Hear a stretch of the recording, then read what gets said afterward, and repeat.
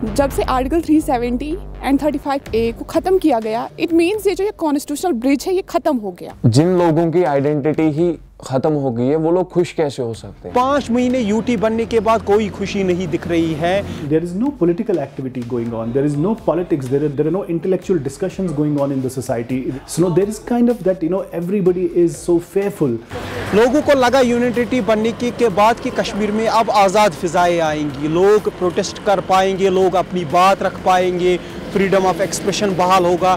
कश्मीर में सबसे बड़ी ज़रूरत लोगों की रही है कि वो बोल पाए कुछ। वो बिना किसी खौफ के बिना किसी झंझट के अपनी बात रख पाए। पावर हो वाटर क्राइसिस हो आप पॉलिटिकल इश्यूज़ को छोड़िए। उस पर भी जब प्रोटेस्ट लगता है कश्मीर में तो 30 साल से हमने देखा था कि लाठी लगती है।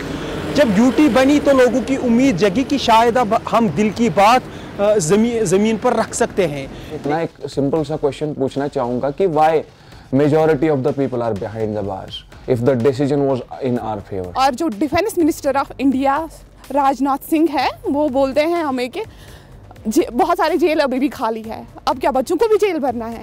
Mainstream media and also the social media how the narrative controlled on the social media social media platforms and also in the mainstream media so that has been BJP is design to control the Kashmir story to contain the Kashmir story and to control the narrative जब से article 370 and 35 ए को खत्म किया गया it means ये जो constitutional bridge है ये खत्म हो गया। चार महीने बहुत है।